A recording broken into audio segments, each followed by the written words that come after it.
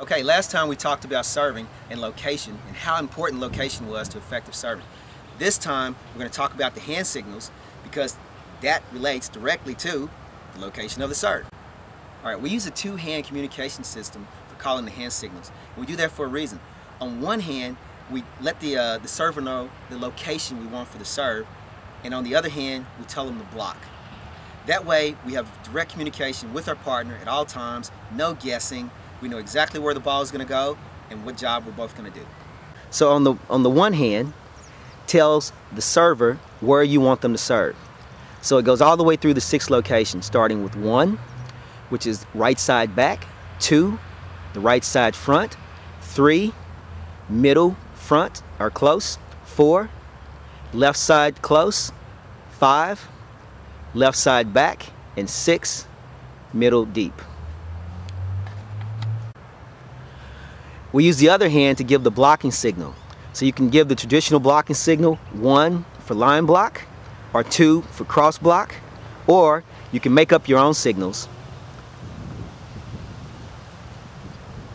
But these two hands working together is a complete communication system between the blocker and the server.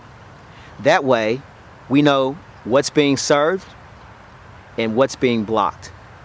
So if you want your partner to serve the ball middle deep, you put, give the fist from middle deep to the six and a two like this for a cross block. If you want it to be middle deep with the six and line block, it looks like this. We created the two-hand calling system in 1995 uh, when I was coaching Natalie Cook and Kerri Pottharst, uh, Australian Olympians, because we are playing in Brazil once and the crowd was so noisy the girls couldn't hear each other on court if you watch the film, you'll actually see them turning around from the net and screaming at each other. But you had 30,000 Brazilians screaming right back and they couldn't hear each other.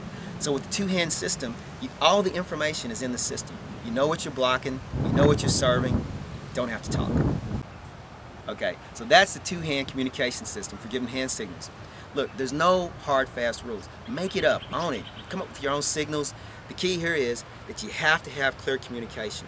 You gotta know, server has to know what they're doing, the blocker has to know what they're doing before the ball is served. Yeah? So communication is the key. If you want to be a successful team on the beach, you gotta communicate. So there you go. Have fun. We'll see you next time on the beach.